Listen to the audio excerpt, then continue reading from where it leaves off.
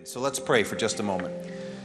Father, again, we thank you for the praise and the worship. We thank you for the precious souls that just gave their hearts, Lord, to you. We thank you, Lord God, for the power and presence of the Holy Spirit. For anyone in this building tonight that has come with sickness in their body or with aches or pains or things that are not right, things that they need to have your power repair or fix or replace, whatever the case may be. We thank you, Lord, that we come to you with an open heart. We come to you with an expectant heart.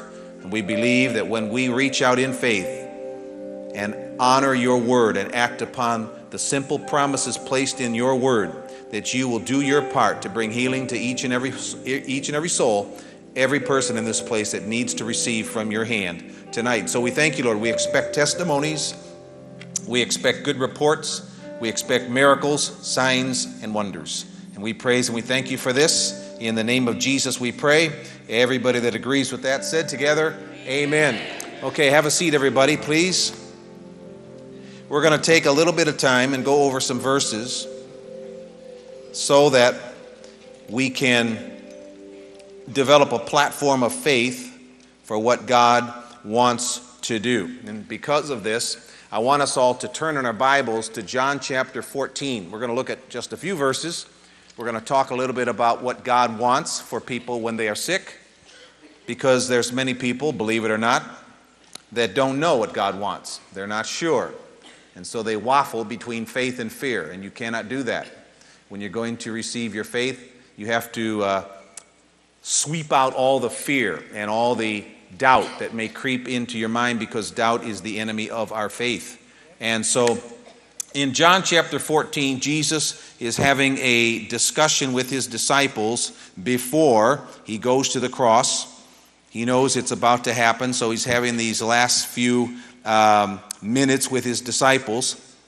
And he says in the 12th verse, this would be from John 14 and the 12th verse, he says to them, Most assuredly I say to you, he who believes in me, the works that I do, he will do also. And greater works than these will he do, because I go to my Father. So he said, the works that he does, we can also and we should also be doing. But then he also says, Greater works than these will he do because I go to my Father. We just witnessed the greater works.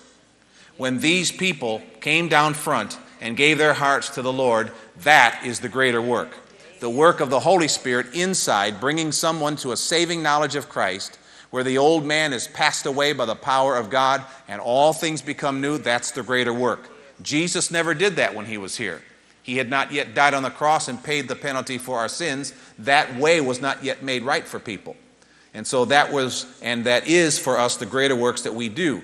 But aside from that, he talks about the fact that we should be doing the works.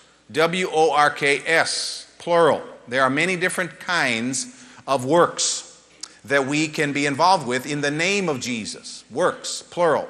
The reason I'm going to point that out to you is because we're going to go to a verse in a minute where uh, the verbiage changes just a little bit. All right? So I want you to turn to John chapter 6 and verse 29. I want to show something to you here. Keep what we saw from that passage in mind.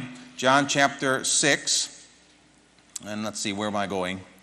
Uh, 26. John chapter 6 and verse 26. Okay. This is a question that people asked Jesus. They said to him in the 20, 28th verse, excuse me, not the 26th, pardon me, 28. They said to Jesus, What shall we do that we may work the works of God? Notice that's the question, the works, W O R K S. Okay, Jesus just said, or later on, you know, you guys can do the works that I do. Okay? So we're all talking about works right now, plural works, all kinds of things. And they asked, What shall we do that we may work the works of God? And the answer, Jesus, verse 29, Jesus answered and said to them, This is the work, singular. Notice the difference. This is not the works. He said, This is the work of God, that you believe in him whom he sent. Okay? Notice the difference between works, plural, and work, singular. As much as God wants to see us do the works of Jesus, those works are secondary in God's eyes. The primary work, there is a more important work, shall I say it that way, and that is the work of believing on Him, using your faith in Jesus as the platform for everything you will ever use your faith for. People are looking for all kinds of answers in all the wrong places, but the people who believe in Him, Jesus, the healer, not the doctor, not the HMO, not the uh, whomever out there, the pharmacy people, but Jesus, believing in Him. That's the work everything else is built upon. And in the Philippines, when we hold crusades, that's what we are attempting to do with the preaching that we deliver to the people. Okay? What happens is people come to these meetings with baggage, all kinds of baggage things they've been taught that were wrong or things they were never taught, and so they don't know. And so they have all this baggage and all these ideas in their mind that block the flow of God. So, what we try to do is get people to a place where they just compartmentalize all that stuff to the left and to the right and zero in and focus on who Jesus is, what he did when he was here, and the things he said about himself and the things he said about us. And when we get through all the other stuff, all the religiosity, all the deception, all the error, and get right down to that, faith becomes very, very easy. And people become very receptive, and healing flows. We've seen it so, so many times. And like I said earlier today, if you were here for one of these services, um, the power of God is present anywhere the work of God is proclaimed. Anywhere the word of God is declared, the power of God is there to back that word up with signs, wonders, and mighty deeds. Amen. And that is our calling card. All right, the works of God. But before the works are consummated, praise God, we have to do the work. And Jesus said, Here's the work. You believe in me. Do that, and everything else starts to fall into place. So before we do anything else tonight, settle it in your mind that Jesus Christ, the Son of God, is the same yesterday, today, and forever. Everything he did then is things he, are things he's doing now, all around the world, okay? And you need to know he loves you with all of his heart. He wants you healed. He wants you well. He doesn't want you to be sick. He doesn't want you to be in pain. He, that's not, you know, religious people, you know, you never know what God's going to do, and God's teaching you things through the cancer, and God's teaching you things through the car crash, and God's teaching you things. He doesn't need any of that to teach us anything. He doesn't need any of that to teach us anything, okay? So, if we come to a place where we are using our faith with eyes focused upon Jesus, the work of God, sending Him then praise God, we're well on our way to positioning ourselves for the healing that we may need from God if, in fact, we have been attacked in that way. And uh, praise the Lord. You know, people have asked me over the years, how is it that it's so easy to see miracles overseas like you see? And I can, I can easily answer that question by simply saying, these people come to the meetings with no baggage. They haven't been taught anything wrong, so they don't have nothing to unlearn. They just show up and they don't have the crutch of a health care plan. They don't have the crutch of the HMO. They don't have anything. They have nothing. So they have nothing to lose by just abandoning everything and trusting God. And I want to encourage you tonight to do that. Forget what the doctor said. Forget what the pharmaceutical people tell you. Forget all of that stuff. Just never mind any of that, okay? The power of God, the raw power of God, can do anything that you need done. When we drove in, there's a banner out there with the, with the verse on the banner, Mark 9 23. Jesus made the statement, you know, all things are possible to him who believes. All things are possible to him who believes. He didn't say all things are possible to every believer. See, we use terms when we don't understand the terms we're using. People who are quote unquote believers many times aren't believing. He said, All things are possible to him who believes. It's a choice to believe. So I want to encourage you tonight. Just never mind what you've heard, never mind the test results, never mind what they said, never mind your family history. Let me say something about family history. We are in the family of God, that's our history. Well, my parents had heart disease, and I never mind any of that. When you got saved, you transferred families. You're in the family of God now. There are no, there's no family history here of sickness or disease, just healing and health. That's our family history. Glory to God. Look with me at 1 John chapter 5 verse 4. 1 John chapter 5 verse 4. Thank you Jesus. 1 John 5 and the fourth verse. For whatever is born of God or we could say whoever, same thing in the Greek, whoever or whatever is born of God overcomes the world, and this is the victory that overcomes the world, our faith. This is the key. The victory is not your healing. The victory is the faith that gets you to the healing. If you can get the faith, the healing comes. If you can get rid of all the doubt, all the unbelief, and all the garbage you've heard, if you get rid of all that and get right into a place of faith, that's the victory right there. It's coming to a place where you so narrow mindedly zero in on the statements of God, the promises of God about Jesus and who He is and who He represents and who we are, and in the name of Jesus, whom we represent, then praise God, the healings flow. Are you listening? You don't need all the other preliminaries and all these other things. By the way, you know, people, doctors, and all of these things, they're fine people, they're doing their best, but you need to remember some things about the medical community and the pharmaceutical industry. It is an industry, it is a for profit industry, okay? These people don't really want you well, they lose money when you get better. It's a corporation. Okay, you, you need to understand it. And you know, if you if you look at the news and not news, but the commercials in between news stories and programs and so forth, all these pharmaceutical uh, advertisements for drugs and sicknesses we never heard, we never knew we even had until they told us about it. You know, I don't know about you, but it's a red flag, man, when you got a 60 second commercial and 30 seconds is all the side effects that you might get if you take whatever it is that they're telling you you need to take. I'm not so sure I want to go that route, you know. You know, consult your physician immediately if you happen to notice you're growing horns on top of your head. Telltale sign something is amiss. Praise the Lord. Okay. There are no side effects with Jesus. There are no side effects with God. There's no downside to this. No downside whatsoever. Amen. And it's just as simple as deciding I'm going to trust God. Like the woman in Mark chapter 5, the Bible says she came and touched the hem of his garment. And she was made whole. And, and there were hundreds of people all around Jesus, and they were all touching him. But she touched him with the touch of faith. Not the touch of curiosity, not the touch of who is this guy. No, no. She knew. And she said, I've been bleeding for 12 years with no help from the medical community, but if I touch the hem of his garment, I believe I'm going to be well. And she did, and he did. And praise God, that same Jesus is here tonight. Same Jesus. Same Jesus. I was telling uh, leadership at, at lunch after the second service, Pastor Luke and Stacy and uh, Dan and uh, Jessica were there, and we were talking, and uh, we shared uh, the story that we referred to as the Spaghetti Boy story in the Philippines, the Spaghetti Boy story.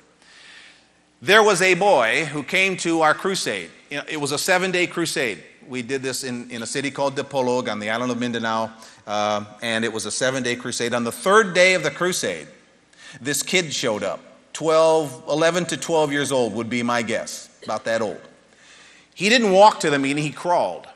He had no skeletal structure from his hips to his feet. I've never seen a human being like this. His legs were there, but they had no skeletal structure. They were like noodles. That's why we called him Spaghetti Boy.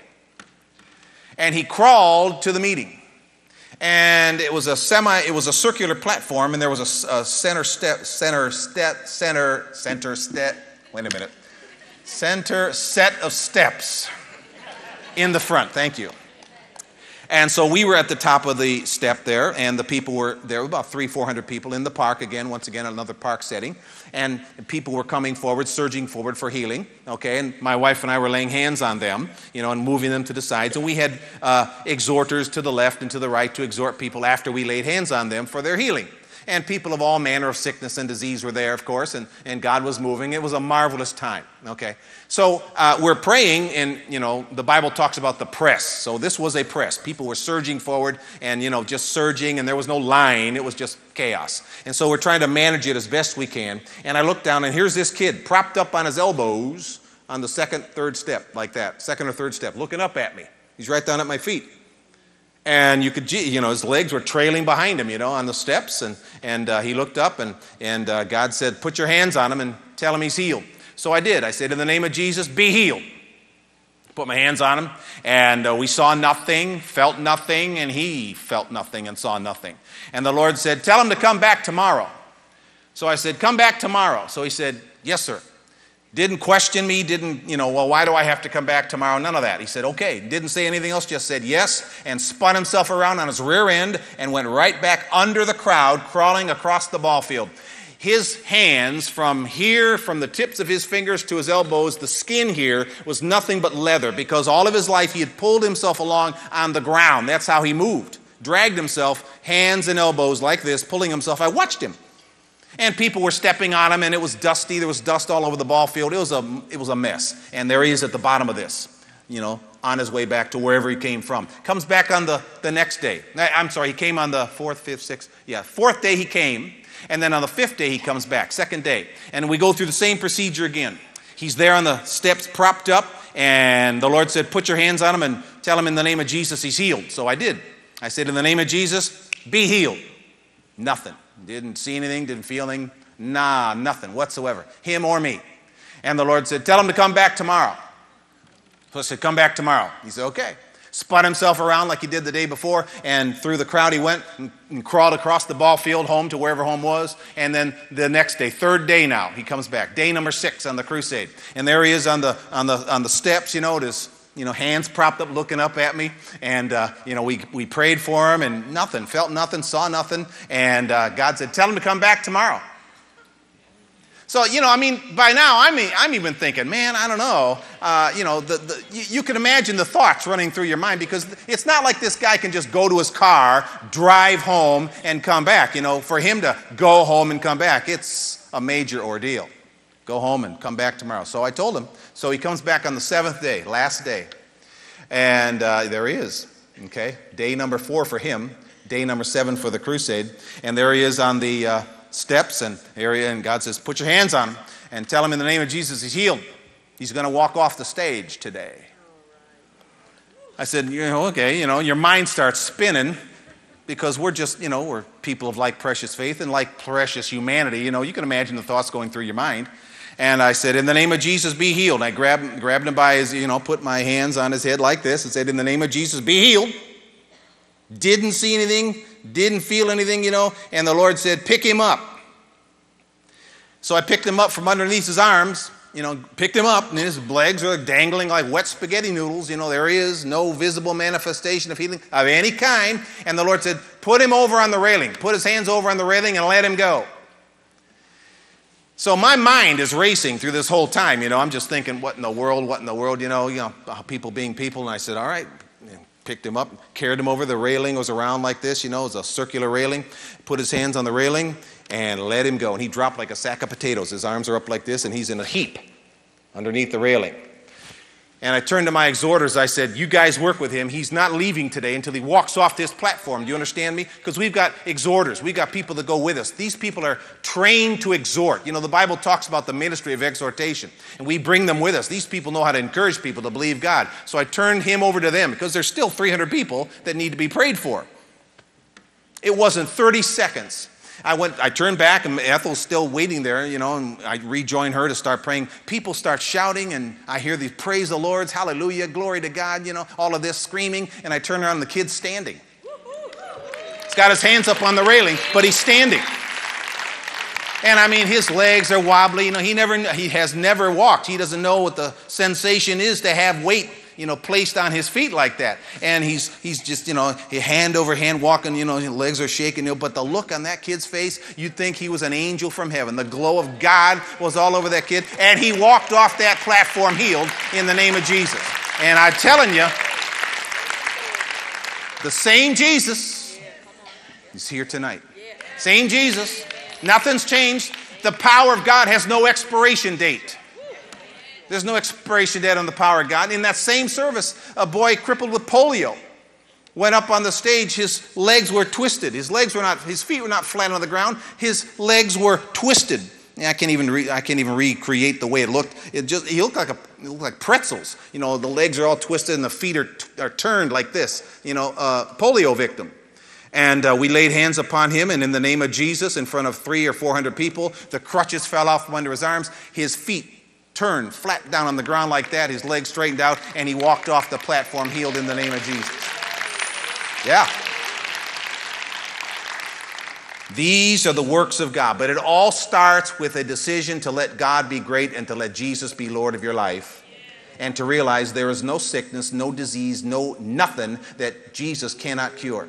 Go back and look, man. I, you know, we've seen blind people healed. I had a crusade, and uh, a 42 year old lady came. You know, we had a we had a crusade, and we prayed a prayer like we're going to pray in just a minute. And she was in the crowd. And we have invitations for people to come forward and tell us what Jesus did for you. So she was the first one up on the stage. This was in the city of Iligan. And uh, she was the first one up.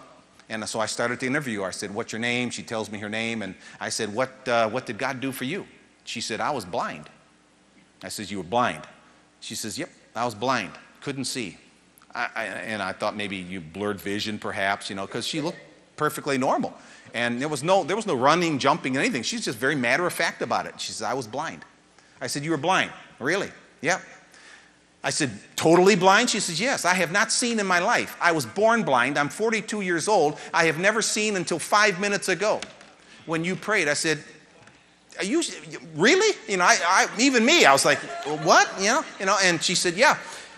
I, I, I, heard about the crusade on the radio, and so I made my way to the crusade site. I asked people where it was, and I went along. Nobody brought me, nobody escorted me, nobody took me here. I made my way here, and I was standing in the back, right over there.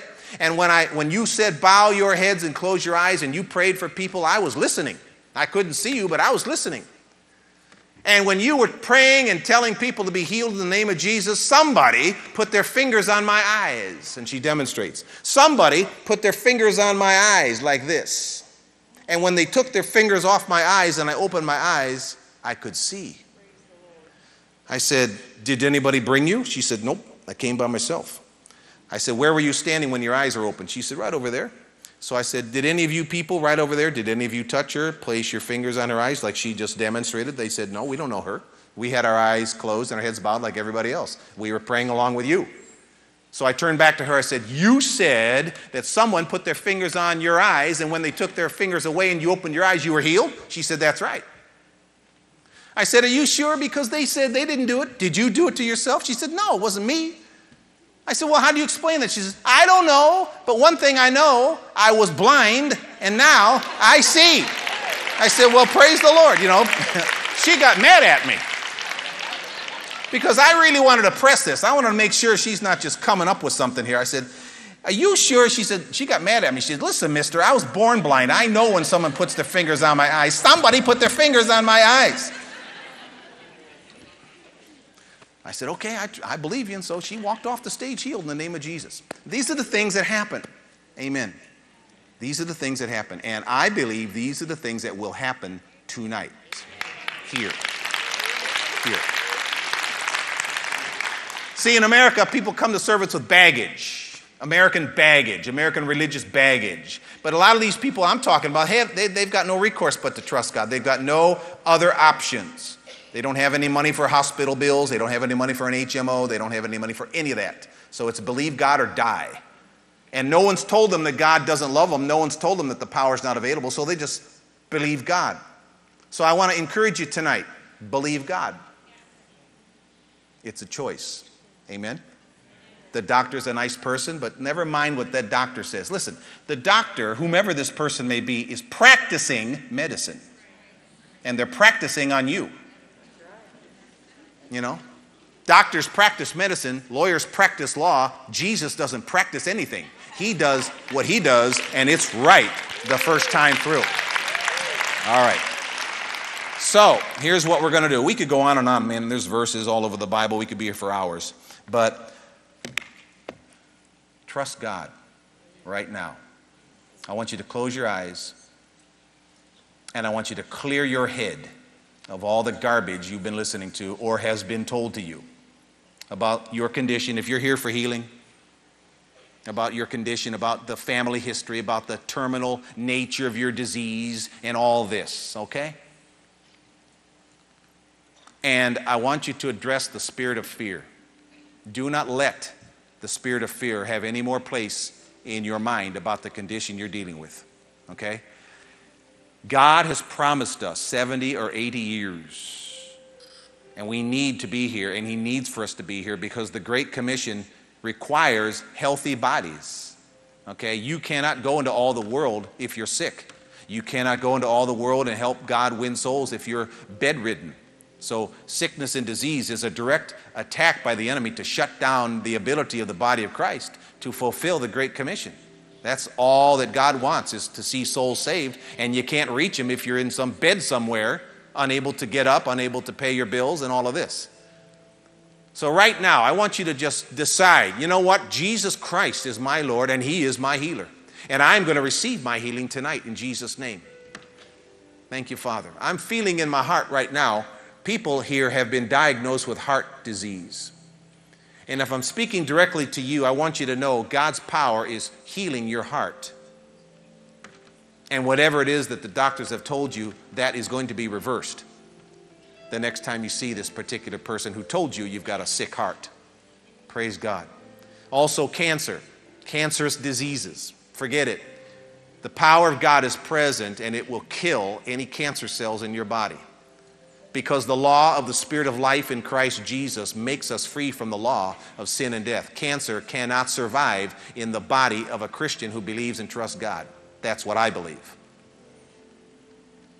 And we've seen people prayed for and they've been healed from these things. Thank you, Father.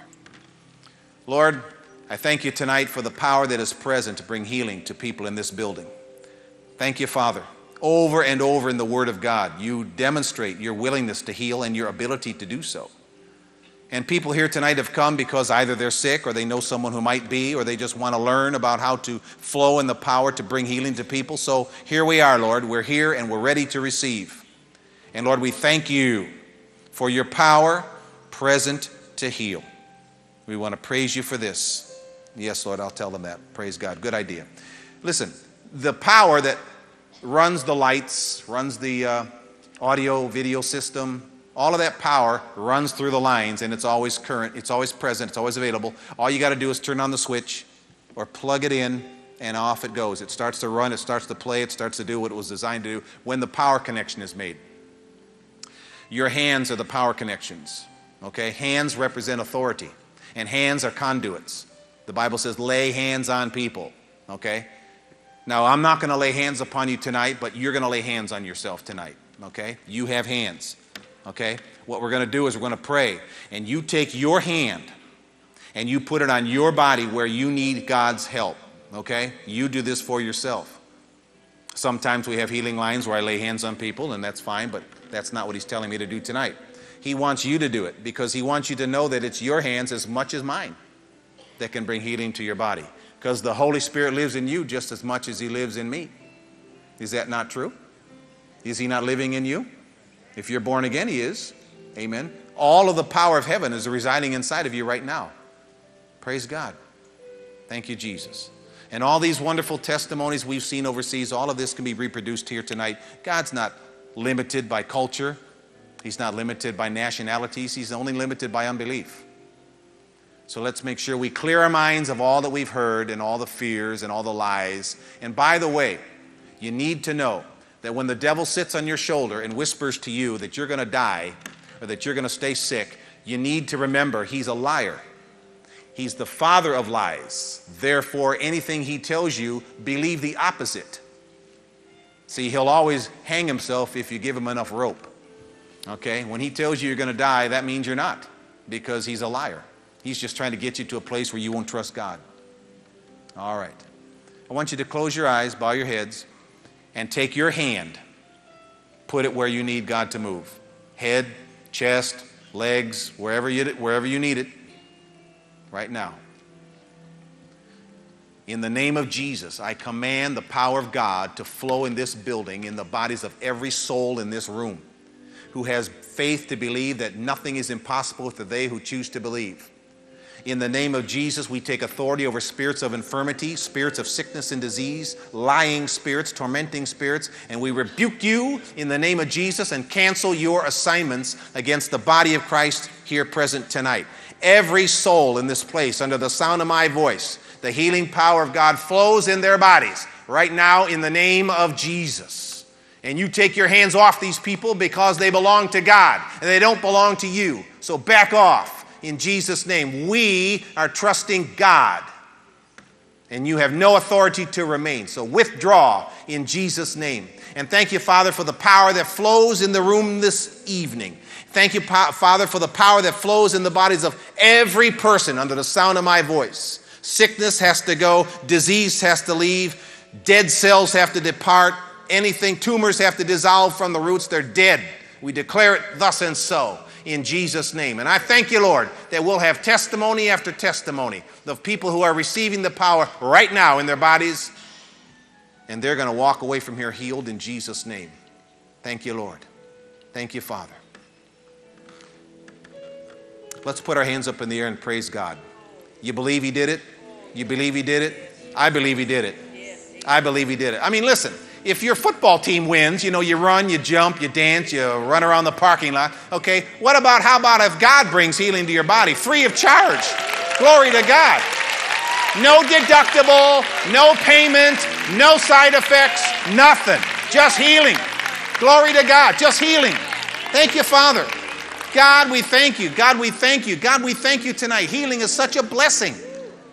Oh my God. You know, we take it for granted when we're not sick, but when you're sick, you know how precious healing is. I know, I've been there. Thank you, Father. Thank you, Lord. Jesus, thank you that by your stripes we were healed. Thank you, Lord, that you are the same yesterday, today, and forever.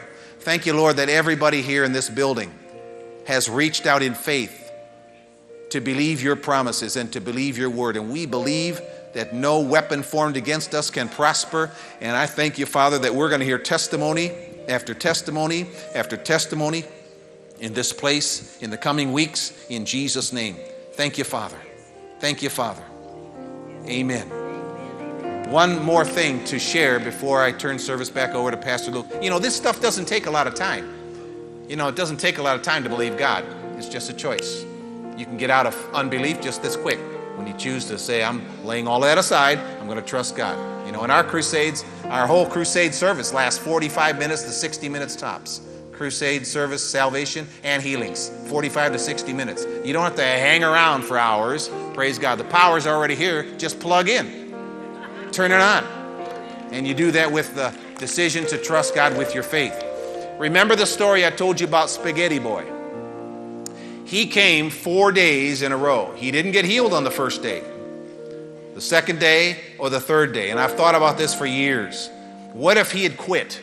What if he had gone home after the first day and said, "You know what? This isn't working. No, faith doesn't work. I went there. He prayed for me. I don't. I didn't get anything." What would happen if he had done that on the second day or the third day? He'd still be crawling today. Hmm? Don't get impatient with the manifestation. I believe every person in this building got healed when we prayed a minute ago. I believe the power of God is flowing in your body tonight in the name of Jesus. And what you need to say is the same thing I believe I'm healed by the stripes of Jesus. Well, you don't look any better. Who cares how I look? I believe I'm healed by the stripes of Jesus. Amen. I'm sure the spaghetti boy didn't see, it didn't feel healed for the first three days, but he walked off that stage on the fourth day. Amen. Don't quit on God. Don't give up on God. The power God's working inside of you. Some people get it right away, and some people get it a week later, or a day later, or a little bit of time later. But don't don't back away from your discussion and your declaration of faith. Don't do that. Don't listen to people. Just listen to God. He said that by my stripes you were healed, and if you were, you are. Were means are. Amen. Amen. Listen. God needs all hands on deck in these last days. He needs healthy people. He needs healthy people. Sick people can't go obey the Great Commission. That's the main reason why He wants us all well, because souls need to be reached, and you can't reach them when you're sick. Aside from the fact that sickness is a terrible plight and blight upon humanity, and it was never intended by God to begin with. It's a work of the enemy, it's a work of the devil. So let's purpose in our heart. We're going to leave here with a fresh approach to the condition I came in here with, I believe I'm leaving it here in the name of Jesus. I'm not going to pick it back up. Amen. That doesn't mean go home and throw out your medicine. Don't get foolish on God. Just take it all. You're going to wake up one day and you won't need it. Okay? But in the meantime, don't go off and do something foolish. Just continue to praise and proclaim your faith. Trust God. Amen. If you got it tonight, praise the Lord. If you don't feel it tonight, it's still okay because the power of God works just remember Spaghetti Boy. whenever it comes time you start to doubt, just remember old spaghetti boy from the Philippines. Okay? He's walking around somewhere today because he held on for three, four days and didn't quit and didn't give up on God. Amen? Amen. Father, in the name of Jesus, I pray that everybody here tonight will be in a place where they can be as free to move and as free to obey you physically as possible because healing and health has come to them once and for all in their bodies. Thank you for thank you Father for the opportunity we've all had to explore your word and to be reminded once again that the power of God is the confirmation of the gospel. We want to thank you for this, that our faith, Father, is not with enticing words of man's wisdom, but in the power of God. And we want to thank you for this here these last days, Father, that our calling card and our finest witnessing tool is the power of God manifested in our lives. We praise and we thank you for this in Jesus' name. Amen. Amen. How many believe they're healed if you came and you were sick? Excellent. That's what we want. I believe it. Pastor Luke believes it. Pastor Stacy believes it. We believe it. And praise God, the devil's on the run. Amen. Old split foot can't do anything about it. Thank you, Jesus. Amen. All right. Praise God. Did this help anybody tonight? Doesn't take long. It just, you know, sometimes you just need to direct people in the right direction. So praise God. Amen. Amen. Thank you, Jesus. Pastor? Let's give the Lord a praise for Apostle Mike.